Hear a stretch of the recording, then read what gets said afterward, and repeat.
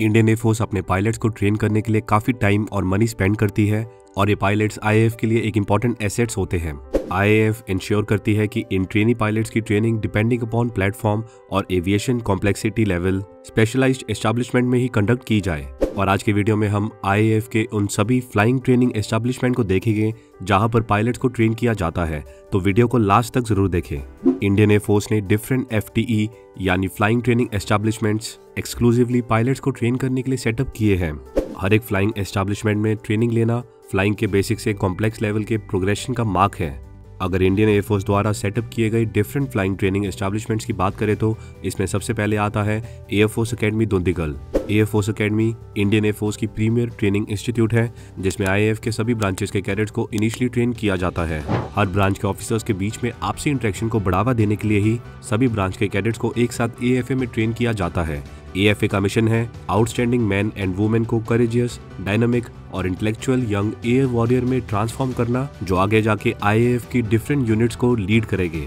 AFA की training को इस तरह से डिज़ाइन किया गया है, ताकि कैडेट्स में moral values leadership qualities and sense of honour को इनकलकेट किया जा सके।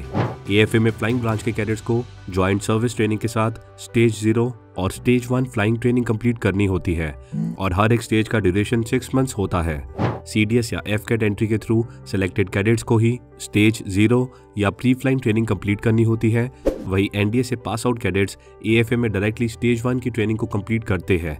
स्टेज वन की ट्रेनिंग के बाद कैडेट्स को डिवाइड कर दिया जाता है into fighter transport and helicopter stream और अपनी स्ट्रीम के अकॉर्डिंग उन्हें स्टेज टू की ट्रेनिंग के लिए रिस्पेक्टिव फ्लाइंग ट्रेनिंग एस्टेब्लिशमेंट में भेज दिया जाता है। अब क्योंकि स्टेज टू की ट्रेनिंग के लिए depending upon stream different flying training establishment है, इसलिए इन्हें एक एक करके देखते हैं।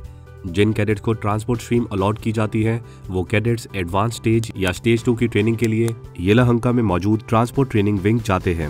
वही फाइटर और हेलीकॉप्टर स्ट्रीम के कैडेट्स की स्टेज टू की ट्रेनिंग हकीम पेट में होती है।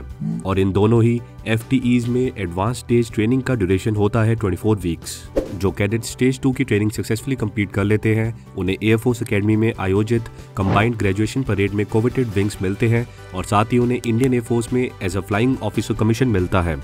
कमीशन मिलने के बाद इन्हें स्टेज थ्री की ट्रेनिंग कंप्लीट करनी होती है। अगेन स्टेज थ्री या specialise training stream wise different flying training establishment में कंडक्ट की जाती है। जैसे ट्रांसपोर्ट स्ट्रीम और हेलीकॉप्टर स्ट्रीम के कैडेट्स की स्पेशलाइजेशन ट्रेनिंग येलेहंका में होती है, वही फाइटर स्ट्रीम के कैडेट्स की ट्रेनिंग बिदर या कलाईकुंडा में होती है।